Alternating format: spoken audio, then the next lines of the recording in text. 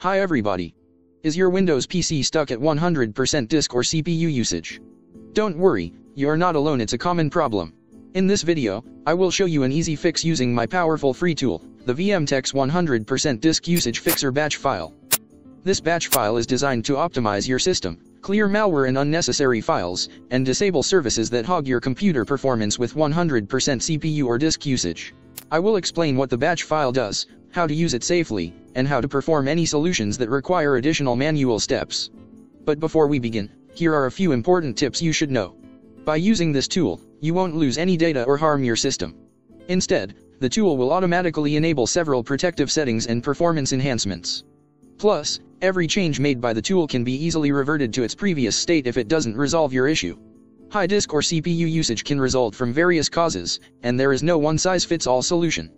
That's why I have compiled the most effective fixes into this tool. Always create a backup of your data using this batch file or by your own method. Make sure to restart your computer after applying any suggestion.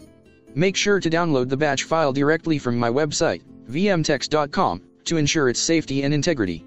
Review the script content if you're tech savvy, so you understand what it's doing. The mentioned services and features were designed by Windows to enhance system performance on newer and compatible computers. However, on older computers, they have been found to cause 100% disk or CPU usage. Therefore, if disabling a service doesn't resolve the issue, it's important to re-enable that service before trying another suggestion.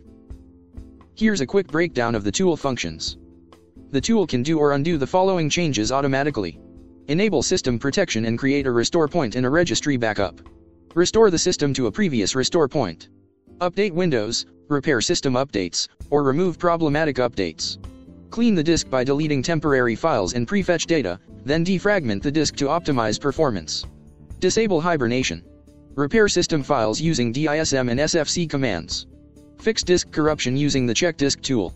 Remove viruses and malware using Microsoft Defender offline scan. Disable problematic services, such as Windows Search and Indexing, SysMain, or Superfetch. Disable compressed memory or modify virtual memory and paging file size. Disable the AHCI controller driver. Using the VMTechs fixer is easy. Here's how. Download the batch file and place it in a folder of your choice. Double-click the batch file to run it. The batch will run as administrator automatically. This is important because the commands require elevated permissions. Before trying any solution, you have to create a restore point by typing 1 and pressing enter. If the system protection is disabled, the batch will enable it and then create a restore point. Now, Type 4 and press enter to open the main menu of the suggested solutions. All suggested solutions can be applied interactively by simply entering the corresponding number for each solution and pressing enter.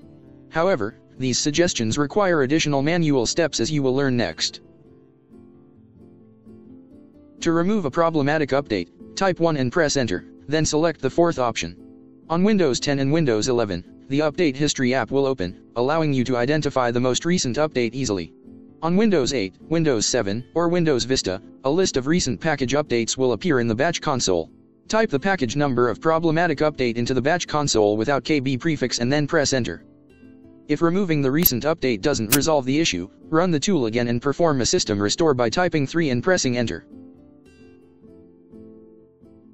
To adjust the size of the paging file, you can either let the batch file calculate the recommended size based on your RAM automatically, or input the desired size manually to customize it. The auto method can resolve low virtual memory errors, while the manual method is useful for fixing 100% disk usage, especially if free disk space is limited. If you decide to disable the storahci.sys driver, verify its availability by following these steps. Type 1 and press enter. The Device Manager app will open. Double-click on standard SATA AHCI controller to open its properties. Under the Driver tab, click Driver Details to check if storahci.sys is listed. If the driver is available, go to the Details tab and select Device Instance Path. Copy the device instance path and paste it into the batch console. Press Enter to disable the driver through the registry. And that's it.